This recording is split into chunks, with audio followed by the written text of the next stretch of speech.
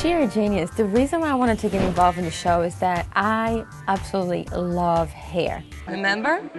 Hair, Hair is is important. Hair is important. And I don't know one person that doesn't have a relationship with their hair. When I was shooting the show, a lot of times my call times were like about 5 a.m. I was pregnant at the time. So it was really tough because I was sick the whole time shooting. And I couldn't tell anyone that I was pregnant. So it was really tough on me. And I had to like, you know, sit on the chair and be all try to look good and try to, you know, say the right words and that kind of thing. I have two stories that kind of, you know, stayed with me from bad haircuts. One, I was younger and I decided to cut my hair very short, like Chanel style. And that's not a good idea if you have really curly hair. And then uh, when I was pregnant with Levi, I was like, oh, I woke up and I was like, I need something different. I need to have a different look.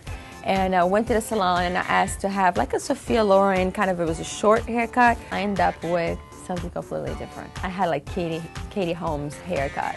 What, no offense, she has a great haircut. It looks great on her, but on me, didn't work at all. So I had to wear extensions for like almost a year.